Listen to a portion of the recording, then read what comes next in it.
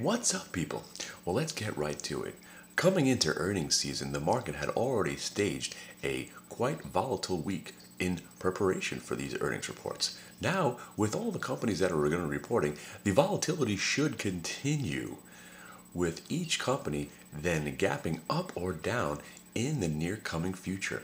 Whether or not they beat, meet, or greet those earnings will be very important for the forthcoming fourth quarter, third quarter, second quarter, and the, the